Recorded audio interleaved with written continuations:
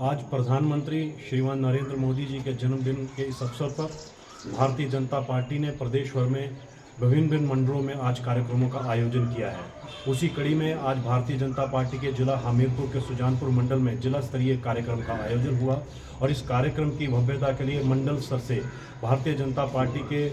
प्रधानमंत्री आदरणीय नरेंद्र मोदी जी ने जो आह्वान किया था कि 18 प्रकार के कारीगरों के लिए, वो एक बहुत बड़ी बृहद योजना, विश्वकर्मा योजना लेकर के आज अपने जन्मदिन के शुभ अवसर पर आए थे। ऐसे ही लगभग 60 के करीब ऐसे कारीगर आज इस कार्यक्रम में भाजपा कार्यकर्ताओं के साथ यहाँ सम्मिलित हुए थे। मैं प्रधानमंत्री मोदी जी का आभार व्यक्त करता हूँ कि आपने इस देश के अंदर समाज के उस वर्ग को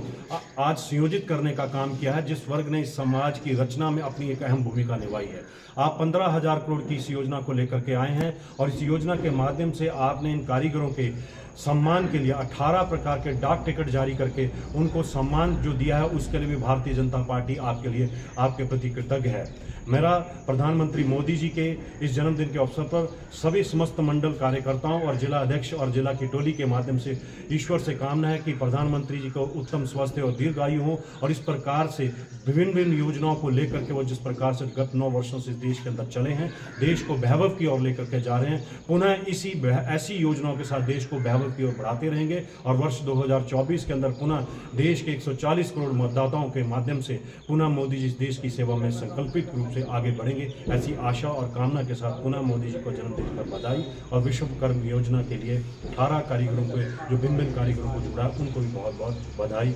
धन्यवाद।